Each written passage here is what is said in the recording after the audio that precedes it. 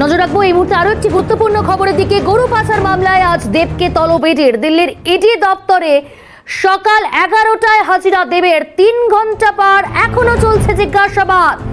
এখনও পর্যন্ত জিজ্ঞাসাবাদ করা হচ্ছে অভিনেতা দেবকে। গাটলের সাংসদ তাকে দিল্লির ইডি দপ্তরে তলব করা হয়েছিল একুশে ফেব্রুয়ারি এবং সেই অনুযায়ী আজ সকাল এগারোটায় দিল্লি ইডি দপ্তরে পৌঁছে যায় অভিনেতা সাংসদ দেব। তিন ঘণ্টা ধরে তাকে জিজ্ঞাসাবাদ করা হচ্ছে। তিন ঘণ্টা পার হতে চলল, এখনও কিন্তু চলছে জিজ্ঞাসাবাদ। গরু পাচার মামলায় দেবকে তিন ঘণ্টা ধরে জিজ্ঞাসাবাদ চলছে দিল্লির ইডি দপ্তরে আজ সকালে সকাল এগারোটায় সেখানে হাজিরা দেয় দেব। আমাদের সঙ্গে রয়েছে প্রতিনিধি ইন্দ্রাণী দাশগুপ্ত। ইন্দ্রাণী, তিন ঘণ্টা পার, এখনও চলছে জিজ্ঞাসাবাদ। কি জানতে পারছ ইডি সূত্রে? একদম, দেখো, প্রায় তিন ঘণ্টা আঠারো মিনিট হয়ে গেছে। দেব ইডি প্রবর্তন ভবনের ভিতরে ঢুকেছেন।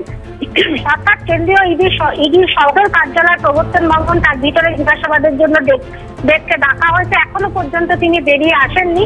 ঠিক সকাল এগারোটায় তিনি ভিতরে ঢোকেন এবং সেই এগারোটায় তাকে হাজিরা হতে বলা হয়েছিল এবং এখনও পর্যন্ত তিনি বেরিয়ে আসেননি। আমরা যে চিত্র রেখেছি যে প্রবর্তন ভবনের সামনে এসে দেব নিচে পাস করেন এবং পাস করে ভিতরে যান। আমরা ইডি সূত্রে যে খবর পাচ্ছি, দীর্ঘ জিজ্ঞাসাবাদ চলছে তাকে এবং দীর্ঘ প্রশ্নমালা সাজানো হয়েছে তার জন্য। মূলত এনামুল হক সহ একাধিক যে সাক্ষ্য তাদের বয়ানে উঠে এসেছে বারে বারে দেবের প্রসঙ্গ। গরু পাচার মামলায় দেবের কীভাবে যোগ সাজস ছিল? কারণ ঘাটাল এমন একটা জায়গা যেখান দিয়ে কিন্তু রাজ্যের সীমানা অর্থাৎ ঝাড়খণ্ড হয়ে কেউ পশ্চিমবঙ্গে আসতে চাইলে সে কিন্তু ঘাটাল হবে ঘাটালকে বেছে নিতেই পারে।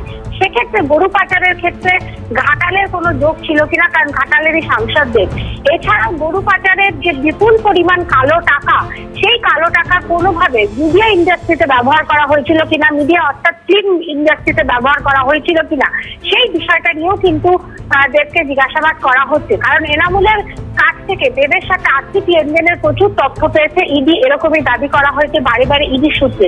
সুতরাং কীভাবে এনামুলের সাথে দেব আর্থিকভাবে যুক্ত ছিল, কোনো ব্যাংক ট্রানজাকশন হয়েছিল নাকি?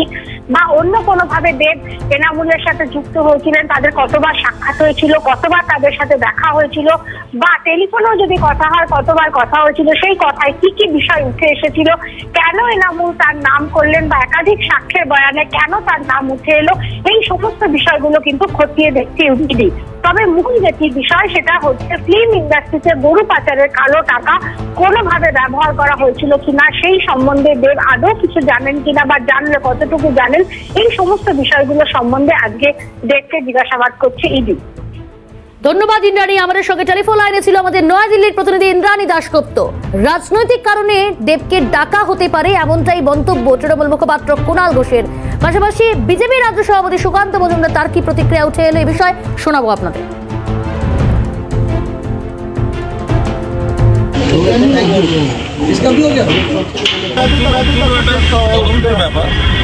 দেবকে কোনো কারণে ডাকা হয়েছে, তার মধ্যে রাজনৈতিক উদ্দেশ্য থাকতেই পারে। কারণ দেব তৃণমূলের এবং দেবকে চাপ দেওয়া হয়েছিল যাতে তিনি রাজনীতি না করেন, তৃণমূল ছেড়ে দেন, ভোটে না দাঁড়ান। দেব বলছেন, আমি মমতা বন্দ্যোপাধ্যায়ের নেতৃত্বে অভিষেক বন্দ্যোপাধ্যায়ের সেনাপতিত্বে রাজনীতিটা করব এবং আমি ভোটে দাঁড়াবো। তারপরই আবার তলব। দেব, তিনি স্বচ্ছতার সঙ্গে তার কাছে যা যা জিজ্ঞাসা করবে, তিনি বলে দেবেন, তিনি গেছেন তিনি গেছেন, তিনি প্রশ্নের জবাব দেবেন এবং মাথা উঁচু করে কয়েক ঘণ্টা পরে বেরিয়ে যাবে। ইডি ডাকলে যে অসুর হোক, যেই হোক না, গন্ধর্ব হোক না কেন, ইডি দেখলে যাওয়া উচিত। আমার তো মনে হয় দেব ভালো ছেলে যাবে ওখানে।